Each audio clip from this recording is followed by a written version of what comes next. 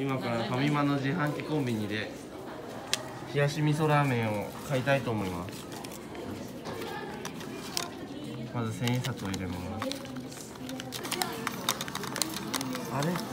加瀬くん入んないよ。ちょっと待ってね。あ入った入った。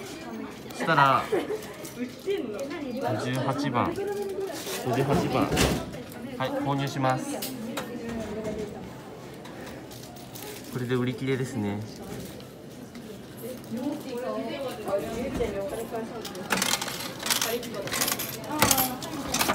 ました出るかな。